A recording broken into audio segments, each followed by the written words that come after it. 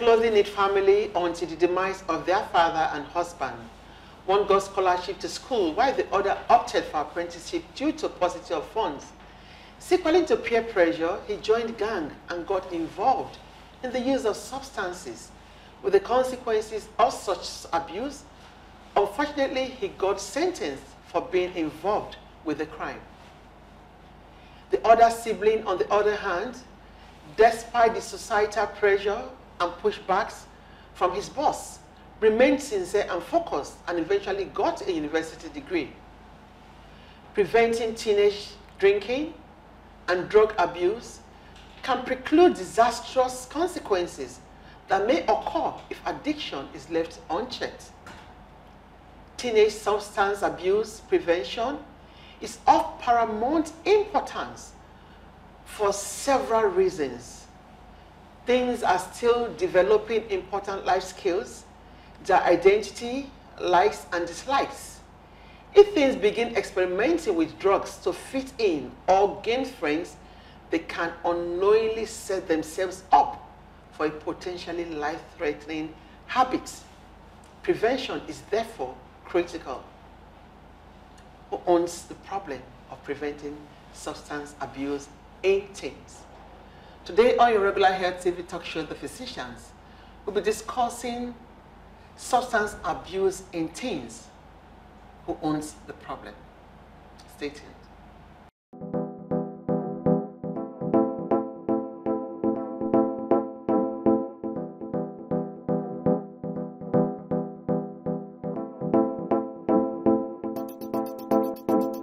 Another day with the physicians where your health is our business. My name is Dr. Martina Agbire, the regular anchor on this program. And with me in the studio is my very elegant, delectable, cerebral, celebrity My name is Dr. Mimuna Yusuf Kadri. Welcome to the Physicians where your health is our business. I will always remain our business. Business. Substance abuse in teens. Who owns the problem? Mm. Who actually owns the problem? We're going to, is, a, is a major thing to discuss because um, I had to bring this to the fore because there was an argument recently and somebody actually even wrote something about them uh, where the person felt it was the, the, the problem is more of the, the, the, the teens for not taking the bull by the horn, for not taking the destiny in their hands, and uh, probably allowing let's, pressures let's define who is a teen. That's where I think we should start from. Let's define who is a teen. Okay. We're talking about children that are between the ages of 13 to And 19. Yeah. These are children. These are children that their brains are still growing. These are children that their brains are still undergoing development. Okay. These are children that every their formative life? their Their formative life that we can change, like we talked about destiny, that can change their destiny. Yes, we understand that. But their brains will not stop growing until in their mid 20s. So a lot of things that they think they know, they want to do, they believe they can do it because of the people around them, the parents, the teachers, the guardians, the well-meaning concerned adults around them Yeah. can then help redirect I totally agree with you on that aspect, but then you are saying that the the adults, the parents around, Around them, them.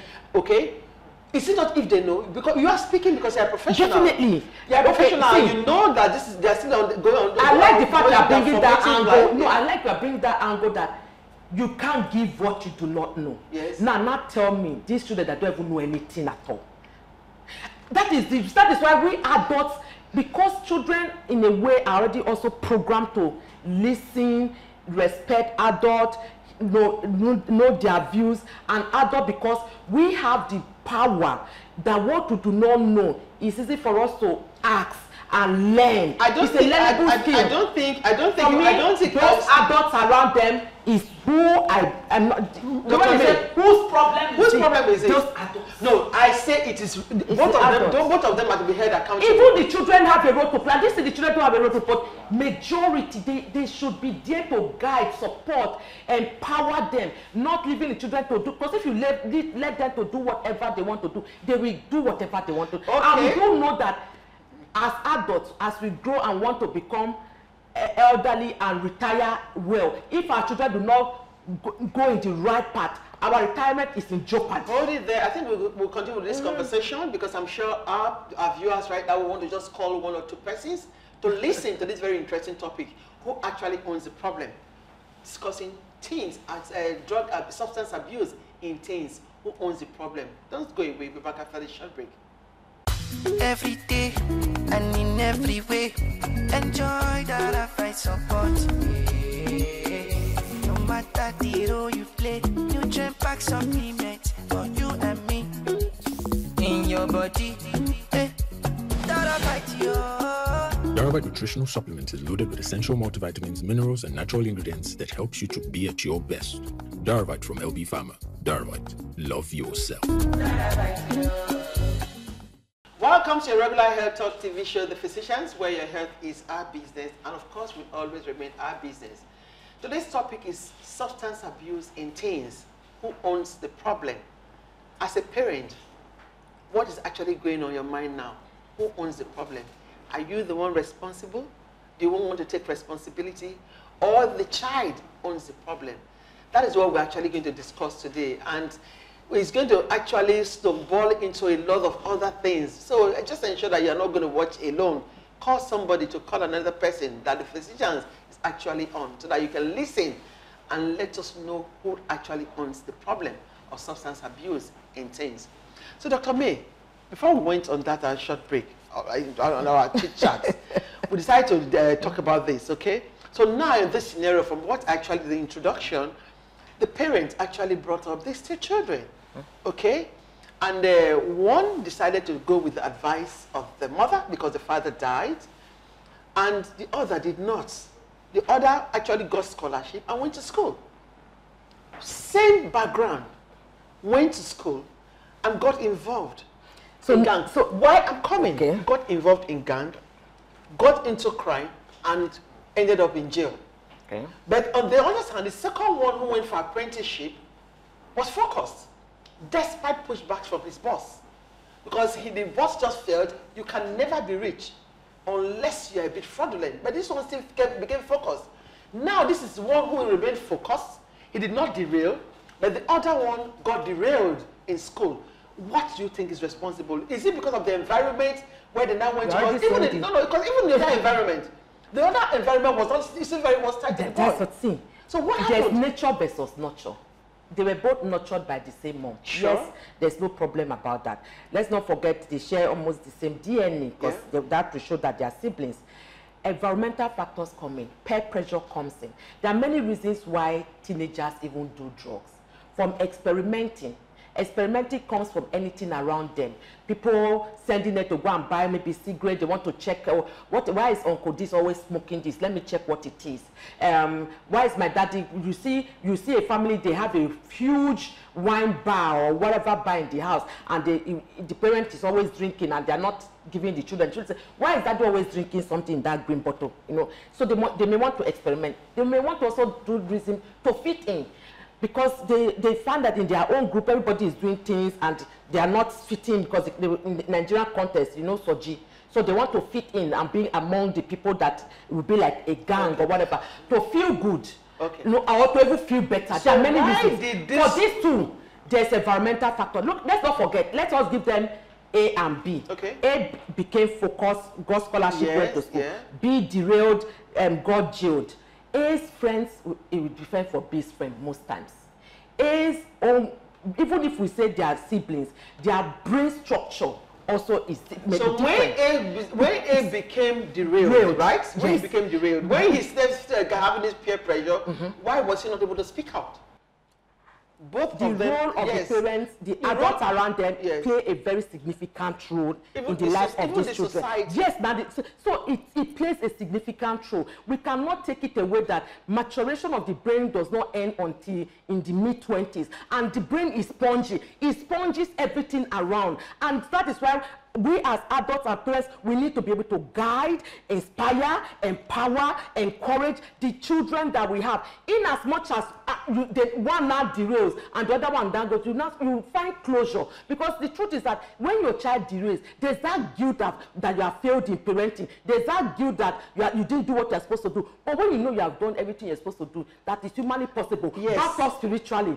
You find closure But if the parent actually has tried, you have done that's what I said. You find you find closure that you've done what was humanly possible. You didn't kill yourself. You didn't you didn't do any. But again, we must be empowered. I'm a doctor. I'm not a mechanic. There are some things that I let me give you a typical example. I may not be good in a particular thing. And I will have to go and learn it, either Google or reach out to friends to empower me so that I'll be able to empower my children. I can't know it all. So that is why we you have to crave for information to be able to empower the, your children. The reason why I'm focused on is that we want to retire and live good. Most of us, our, our old age is already jeopardized because of the way our children are already taking a path that will not make us happy. Self-actualization is the highest on Maslow so, hierarchy. So, the, the truth So is that's that it. both parties have to. they play- they play a role, but the family role- has the a role to family, play. yes. The, the society not has blaming the children, role to no, play. No. the school, ev- everyone Everywhere, has, there everyone religious is- organization, every- it play- everyone takes a has the village, role to yes. play. So who owns the problem? We're back after the short break. Don't go away. every day and in every way. Enjoy that I find support. No the role you play, nutrient pack supplement for you and me. In your body, eh, that I fight you. Darabite nutritional supplement is loaded with essential multivitamins, minerals, and natural ingredients that helps you to be at your best. Darabite from LB Pharma. Darabite, love yourself. Welcome back. If you have just joined us, you're on to regular health TV talk show, The Physicians, where your health is our business. We've actually been discussing substance abuse in teens. Who owns the problem? And uh, Dr. Mimuna and myself actually did have it really, really hot because she's of the, of the, of the view, our own opinion is that uh, the, the, the parents are to be blamed. The, the children don't own the problem. The, the problem is that of the, of the parent. But I, uh, I, but I feel that um, both parties actually should be held accountable because it actually did, uh, does take um, everyone to, to make a, a family or this is keep the society going. But then today I want to bring on board our guest. He is no other person than Mr. Solomon Ijeoma. He is actually a prolific writer, he's an author, and he's had experience in, in, in coming across children, uh, teens especially, who got involved in substance abuse. And uh, he wants to like share his experiences with us and why he decided to write about it. So maybe from what he would say, Mamona, Mamona, my humble self, would probably have closures on whose problem it is, the parents or the children. You're welcome to our program. You're Thank you very welcome. much for having me. You're welcome, sir. Good afternoon, viewers. Okay. Well, um, before you actually came on, Dr. Mamuna, I did, for what I just said, would try to talk about the substance abuse in teens and who owns the problem. And I'm aware that you also wrote a book, I think Kinked Destiny or something. Yes. And uh, you want to just tell us a brief something about uh, about the story, the storyline of that book. Thank you very much. The title of the book is Kinked Destiny. It presupposes that there is a destiny that is kinked. Okay. Now, the story started by me thinking on how do we help the teens in getting their destiny stabilized. Yeah. This story is in a family. The father died when they were about to enter secondary school. That means they were 10 years old. So they are left with only the mother to nurture them. Now, because of lack of funds, one decided to go to apprenticeship. There's no option, not even decided, there's no option.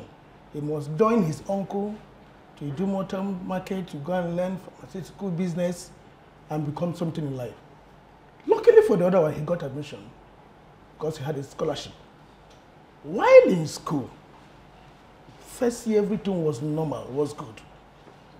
Suddenly, he derailed. Why did he derail? Peer pressure. Yeah. Simple phone. His schoolmate table was always, he saw him always pinging, always. He's not used to it. He said, what this thing you're always chatting, what is, can I join you? And that one had to teach him. If you go to the book, how to join. And that was how he joined and even became worse. the Yeah, the student be what, getting worse than Yes. the The teacher. teacher. From his background, he had no phone. Yeah. And from what we are discussing, we discovered that the moral upbringing of every child teen rests on a tripod stand, on a trivet. The home, Yeah. the school, Cool. Yeah. and the The society. society. Now, see how it works. The home, the child's character is molded in the home. The home molds the child, pushes the child to the school. Cool. The school reshapes this child and pushes the child to the society. The society rehearses and reshapes this and pushes the child both to the school and the home. Mm, Yeah.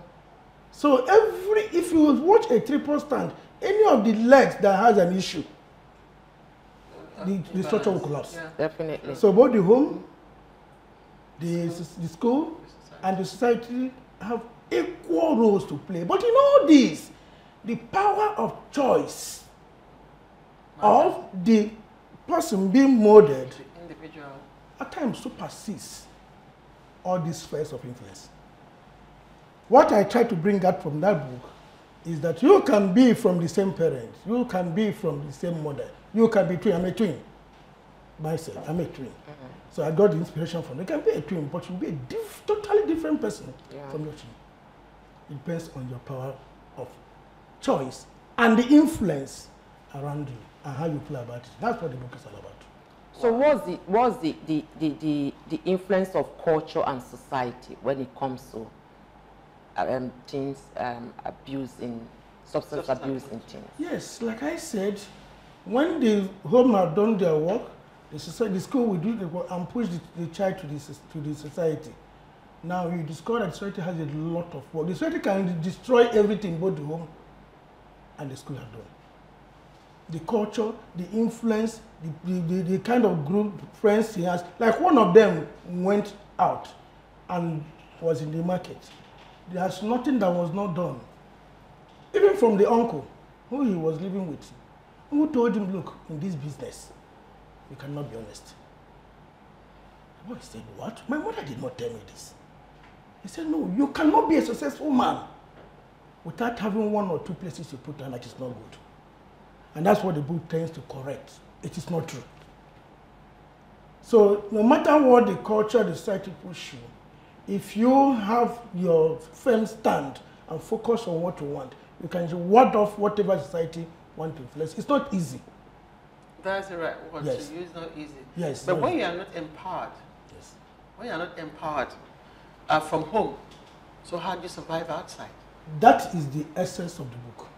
Information matters. I want to believe that if every child, primary, secondary school, just one, two, three, can have access to this book, it will enable the child to have what, let me use the, the medical term, get the, the necessary alarm dosage to be sensitive and know that any choice I make, this is the consequence. That information is very key. They say you can, you have the power to make a choice, but you don't have the power to determine the outcome of your choice, the Yeah. consequence of your choice. Definitely. Okay, so let's And- let's let's forget about what you wrote in the book right now. Okay, so in the, in our society in Nigeria now of today, does honesty really pay? Very good question. Does it really really pay? It seems it does not, but honesty pays. Always. Always. It may take time. It may take long. It may look difficult, but not impossible. In the book, I brought it out clearly. This guy was honest, but paradoxically, his honesty worked against him. You know, your honesty can work against you. Sure. He was in the market. An NGO, a woman came to buy things and forgot two million naira in the market, in their shop, because they were in a hurry, it was raining. This man, this boy picked it. His boss was not around. He picked it, and ah, this is not our money. Opened it. Inside the woman's purse, he saw a card. He called the woman. Ah, madam, you forgot your money here. The other apprentice told him, why would you give him? They called his boss. The boy said it's his money. Story have started. It's his money. In fact, you collided with this woman to carry my money in the name of the woman forgetting it. Like play, like play, they tried it. The boy was honest, was consistent that this is not our money. She forgot it. The woman went to police. At the end of the day, it was discovered it was the woman's money. The woman, the money was given back to the woman. And the man was like, why would you? You are too honest, too honest. I said it when your mother was bringing it to me. I said it, you are too honest for this job. Why can't you get that money? There are one million things you can do with it. This is honesty. The boy was pushed back from the apprenticeship down to the village. Yeah. This is honesty. After some time, this woman came back to say thank you without knowing that this boy had been sent back home. If you ask, where is this boy? He said, ah, because of that your issue, he was sent to. The woman traced him, got him. Now, asking your question, those honesty. Yes. Got him. Say, madam, ah, you don't come again. You cause problem for me first time. Yeah, have you come again? Say, no. How can we help you? From there, they pick the boy. They pick the boy. He finished secondary school and then admission. So it may take long. Yeah. It may take now. Every teenager need to know this. So that in their formative age, they will know that, look, even if I'm suffering now, but I'm suffering for honesty. One day, one time, one year, it will pay back. Tell us about the role of the re- religious organizations when it comes to this. Why I'm bringing this on board is because I've had a movie produced on substance abuse, and the church members were the one that brought the man on admission. Tell us the role of Uh, The- the religious. um, uh, because it's part of our culture. coincidentally, I'm a pastor too. Aha. I did a program and I did a survey. I asked people, why do you come to church? You'll be shocked to hear why many people come to church. The note I got says some say they come to charge their phone. But there's no light now, so the church will have light. you eh? really serious? So it's good that you read, and it's good that you did such a survey to hear the good. So you know where to actually start. Yes. So when you mention church, you're, you're not heaven. It's not heaven. 90% of people you see there are not some because some came to To charge your phone, wow. So whose fault Some is it? came to exchange. Contact, yeah. So not everybody there has come to, to see God. So who's to blame here? So it's, it's the, the, the church is part of the society. In fact, you'll be shocked if I tell that even the worse. Because there everybody is where is seen as being holy. So anything Yeah, can right. happen. It's actually very dangerous. In fact, it's the most, if I'm talking with you, you can see all the time what I have not mentioned I'm a pastor. If I will say this, if you mention a pastor, I will become more more than to watch because it, it, you, it, it, it gives impression that you are good, but you may not We be. go, yeah, right. Okay. I well, it's unfortunate that uh, people now come to church just because they want to charge their phones. Okay, so back to what we're talking about: uh, substance abuse and uh, who owns the problem. Well, so I give you a story now. There was a family. The the child is not even a teenager. The child was involved in substance abuse, and they eventually repatriated the child from uh, outside the country, got admission into one of our universities here in Nigeria. That university is actually very strict. They do uninformed check, random check, and they checked again and found that this guy Was still was, doing was involved. Okay, so they found a substance in his, uh, in his system, and the parent came to me and I said, "Okay, let's see. Dr. Memona is there. We can bring the patient to Dr. Memona's office." I discussed, I had a conversation with Dr. Memona. She told me what to be done, and I told the parent, "You know what they said."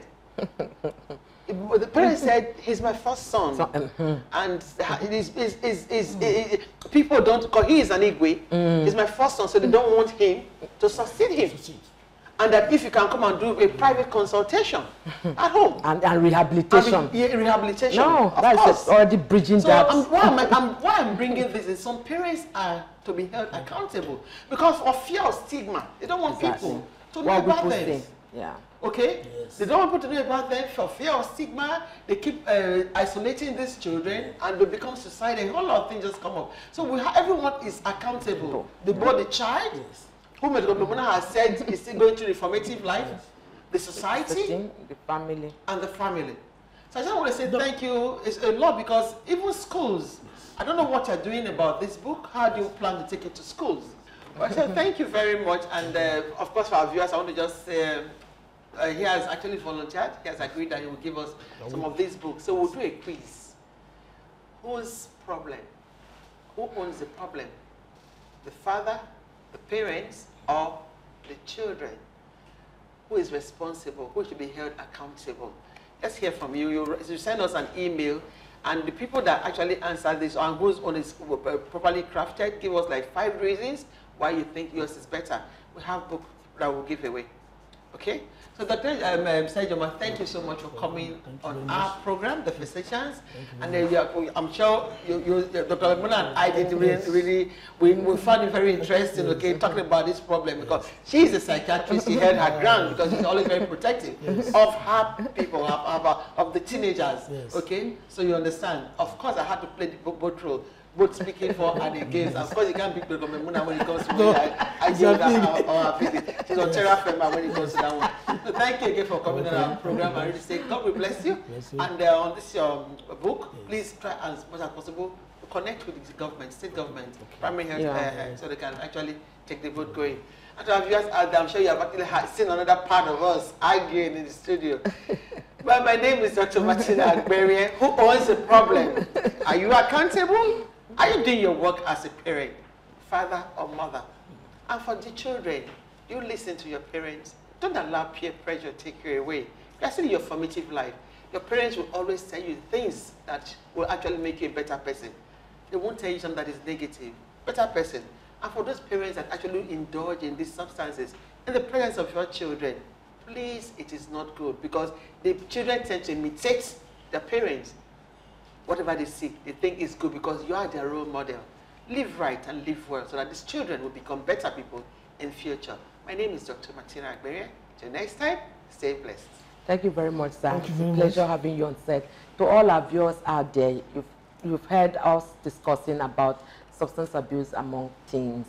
The role, the ball is in your court as, as we speak right now. There's never a late time to start educating yourself. What you don't have, please acquire it so that you can also encourage and empower your children. And for the children also learning the right way. It takes a whole village to be able to nurture a child. Please feel free to follow us on all our various social media platforms. And if you want to be a part of the show, just like how Mr. Joma is right here, go on our website, click on the form, fill it and be here. You don't have to be, I keep saying, you don't have to be a doctor, a, a nurse, any healthcare worker to be here. You have a story to tell, we are, you are in the right place to come share it with us at the physicians. My name is Dr. Memuna Yusuf Kadri. Remain blessed.